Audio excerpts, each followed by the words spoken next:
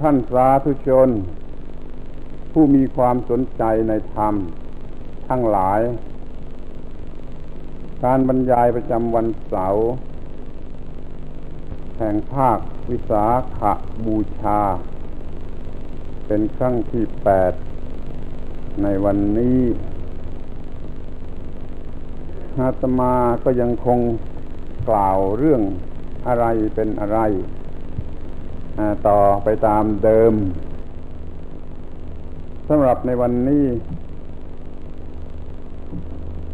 มีหัวข้อโดยเฉพาะว่า เศรษฐกิจคืออะไร ทั้งหมดนี้เป็นการกล่าวไปตามทัศนะของพุทธบริษัท ดังนั้นมันจึงไม่ต้องเหมือนกับที่เขากล่าวกล่าวกัน ในการบรรยายทุกครั้งที่แล้วมา กล่าวถึงว่า การศึกษาคืออะไร การงานคืออะไร การคบหาสมาคมคืออะไรศาสนาคืออะไร การทำบุญทำทานคืออะไร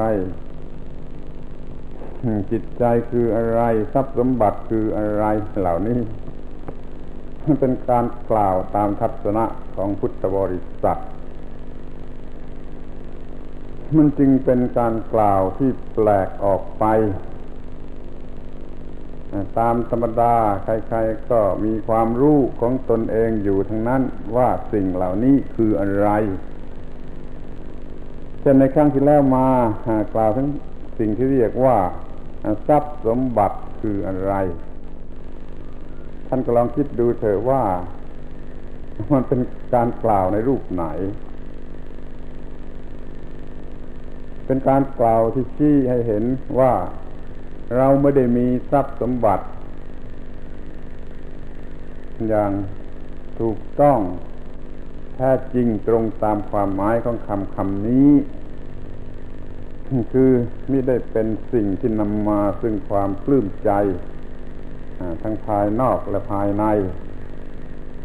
แต่เราก็มีทรัพย์สมบัติกันในลักษณะที่ทำผู้มีนั่น ให้เป็นเหมือนกับเปรตที่ทูลภูเขาอยู่ตลอดเวลา แล้วก็ได้ตายไปเป็นโสมเฝ้าทรัพย์คิดดูเถอะว่าทรัพย์สมบัตินั้นมันคืออะไร มันมีปัญหาอยู่อย่างไรในปัจจุบันทรัพย์สมบัติเป็นเหตุให้เกิด การแย่งชิง การเบียดเบียน การเอาเปรียบผู้อื่นอย่างใหญ่หลวงเพราะเห็นแก่สิ่งที่เรียกว่าทรัพย์สมบัตินั้นในความหมายที่ไม่ถูกต้อง ตรงตามความหมายของคำคำนั้นดังนั้นเราจะต้องดูกันเสียใหม่ ให้รู้จักว่าทรัพย์สมบัตินั่นคืออะไร แล้วก็มีมันให้ตรงตามความหมายแท้จริงของคำคำนั้น ซึ่งมีใจความสำคัญอยู่ที่ว่า มันต้องทำความปลื้มใจ เย็นอกเย็นใจไม่ใช่ทำความร้อนใจ เดี๋ยวนี้เรามีทรัพย์สมบัติกันในลักษณะที่ทำความร้อนใจ หรือกระวนกระวายใจ มันก็ไม่ใช่ทรัพย์สมบัติ มันเป็นสิ่งเผาลนชนิดหนึ่งไปเสีย ขอให้ดูสิ่งที่มีอยู่จริง โดยไม่ต้องคาดคะเน ก่อนแต่มีทรัพย์สมบัติยังไม่ทันจะได้ทรัพย์สมบัติก็กระวนกระวายใจเพื่อจะได้มันมา กระวนกระวายใจ ชนิดที่เป็นคานทนทรมานครั้นได้ทรัพย์สมบัติมา ก็ไม่หมด หรือไม่หยุดความกระวนกระวายใจยังกระวนกระวายใจอยู่ด้วยความรัก ความหึงหวง ความหวาดความระแวง ความวิตกกังวลนานาประการ อย่างที่พ่อบ้านแม่บ้าน เป็นโรคเส้นประสาท กันโดยมากตัวตัวไปในยุคนี้ ก็เนื่องมาจากสิ่งที่เรียกว่าทรัพย์สมบัตินั้น ดังนี้แล้วจะเรียกว่ามันเป็นทรัพย์สมบัติได้อย่างไรคือมันเป็นสิ่งที่ทรมานใจทำให้เหมือนกับตกนรกทั้งเป็น ไม่ได้สร้างความเยือกเย็นเลยสักนิดเดียว จึงขอให้เรามองดูสิ่งที่เรียกว่าทรัพย์สมบัติกันเสียใหม่ ในทัศนะของพุทธบริษัท แล้วก็มีทรัพย์สมบัติกันตามวิธีของพุทธบริษัท ก็ไม่ต้องเป็นเปรตที่ทูลภูเขา แล้วตายไปเป็นโสมเฝ้าทรัพย์